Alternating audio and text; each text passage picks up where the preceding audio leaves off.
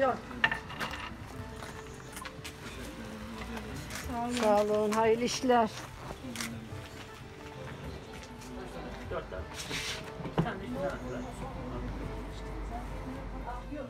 Ekmeği yoğurduktan sonra içim ayarlı. Kaç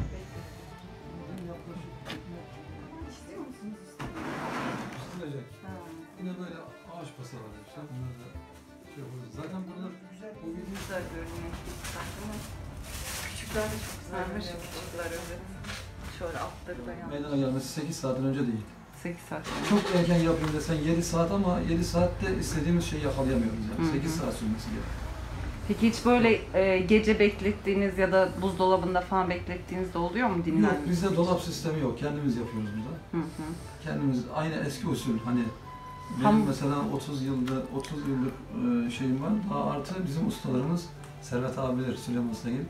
Bir 30 senede onlar dayanıyor yani. Geliyor. hı. Şey böyle e, hamurdan parça ayırıp ondan sonra onu mu Hamuru- katıyorsunuz hamurdan- yoksa? E, kendimiz e, içeride ekşi maya tutuyoruz. Kendimiz kuruyoruz onu. Hı hı. Daha sonra o mayayı çoğaltıyoruz. Besliyorsunuz. Tabii besliyoruz. Ölmesin. Günlük diye. iklime göre, efendim e, iklime göre ve şeye göre, yapacağımız hamura göre, Hı hı. soğukluğunu, sıcaklığını, onun e, ayarını kendimiz hamura göre biliyoruz biz yapacağımız şeye göre. Ama iklim de çok başlı başına bir önem Evet taşıyor. sıcaklık çok Tabii. önemli mayada. Ve e, taşıma süresini iklime göre ayarlamanız lazım. Hı Yani hı. kıştaki mayayı yaza ayarlarsanız ekmeği alamazsınız. Evet, evet.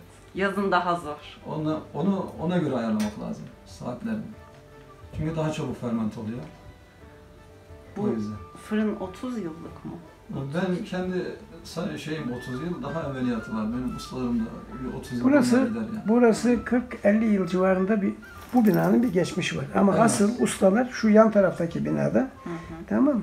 O yan taraftaki binada eee, benimle olan bağını da söyle, yürüteyim ben sana. Benim eee, babamın annesinin kız kardeşi burada 63 yılında çok büyük bir sel oldu. O selde öldü. Burada kara fırın vardı. Yıllarca onlar burayı çalıştırdılar. Ondan sonra onların yanında çalışan birisi burayı çalıştırdı. Fakat modernize etmediler. Ondan sonra yani asıl şey e, işin mekanizmanın geldiği yer orası. Ustalar korular. He. canım muhakkak burada Yani 30 yıldır aynı maya ile Aynı mayada. 60 devam yıldır. Çok Bizim güzel. Hatta daha önce. Ustalarımızı e, sayarsak takriben 60 yıl en az. Hı hı. 60 yıla dayanıyor. Aynı usul e, maya ile gidiyoruz. Tabii bu biraz e, normal ekmekçiliğe göre daha farklı bir ekmekçilik. Biraz sabır ve zaman isteyen bir iş. O yüzden e, yani eğer çabucak çabuklaştırırsanız şey bozuluyor. Evet tadı bozuluyor. da, tadı da değişiyor. Günde ne kadar ekmek yapıyorsunuz? Evet, Yaklaşık e, 800, e, 700, 800 o civarında. Çünkü daha fazla... Çevre köylerden mi alıyorlar? Bizim ekmeğimiz genelde genelde hep dışarı veriyoruz. Yani çevre köyden, dışarıdan, Mengen'den. Mengen'den buraya ekmek almaya gelenler oluyor. oluyor. evet. Bilhassa biz e, Ankara'dan yerleri çok mi? müşterimiz var. Ankara, İstanbul. Ay, Çok Hafta güzel ya. sonları diğer günlerden daha güzel oluyor. Tabii alanlar memnun oluyor. Memnun olduğu için de önemli olan ekmeğin e, birkaç gün yenmesi yani. Bugün yapıp da yarın ekmek kendini bozarsa o ekmek zaten kendini söylüyor. Evet, ekşi Müşteri- mayalı ekmek daha çok dayanıyor Şimdi değil mi tadı? e, halk dilinde tabiri caizse ekşi mayalı ama ekşi mayayla bitmiyor iş yani. Hı hı. Burada fırının konsulu önemli, odunla pişirmek, eski usul, eski ocak. Bunlar da çok önemli şeyler, faktörler. Ama tabii hepsinden e, ziyade ben şöyle tarif edeyim. E, işte sabır ve severek yapmak Selamünaleyküm. gerekiyor. Aleykümselam. Usta amcam biraz önce aramış. Kepek ekmek. Hayır, Kepek, iki aynen. tane, iki tane de yuvarlak ekmek 12'ler. Tamam efendim, peki. Ondan sonra basit. Ustam bunu kaç nesil yapıyor? Kaçıncı nesilsiniz? Ben, ikinci kuşağım. Babam bu mesleğin asıl ustası. Hı hı. Ben ikinci kuşağım. ikinci nesil olarak yapıyorum. Burada biraz önce bahsetti ve onda ustaları da varmış. Tabii şey olarak e, biz bu ekmeğin e, benim ustam ikinci, bir, iki, biz üçüncü oldu, dördüncü olmuş oluyor. Nesil olmuş. yani aynen. Ben hani aynı e, şeyden kuşaktan deyince ben yanlış anladım. Mi yani? Nesil olmaz. Ne kadar sürede pişiyor ekmeği? Yaklaşık ekmeğin büyüklüğüne göre mesela tam buğday ekmeklerimiz patates ekmeklerimiz bir buçuk iki saate yakın sürer. Ama bunlar da 45 dakika sürer. Burada kaç çeşit ekmek yapıyorsunuz?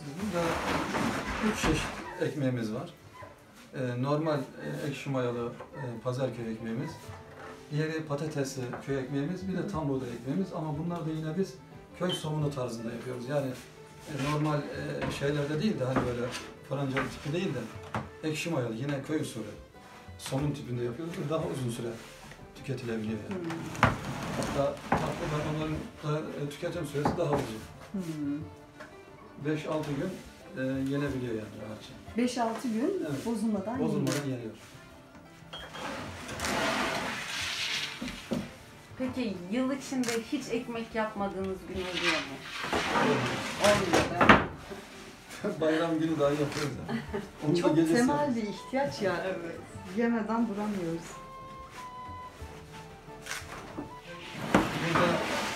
Mesela Trabzon ekmeği falan var. Evet. Karadeniz'deki oraları gidip gördünüz mü? gördüm, onları da biliyorum ben. Trabzon ekmeğini de biliyorum. Mesela o ekmek de gerçek layıkıyla yapanlar güzel yapıyor ama ekmeği sokmak, şekle sokmak ekmek yapmak değil yani. Ekmeğin önemli olan damak tadını, hazzını yakalamak ve dayanma süresini e, biraz daha uzatabilmek mesela. Günlük tüketim değil. Bizim ekmeğimiz o tarz.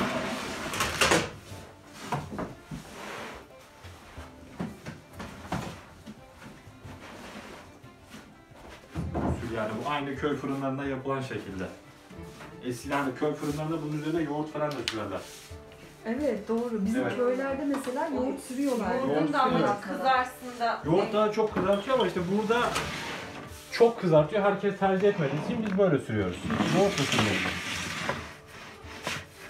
Ramazan'da pide yapıyorsunuz. Tabii ki. Mideye de mi ekşi?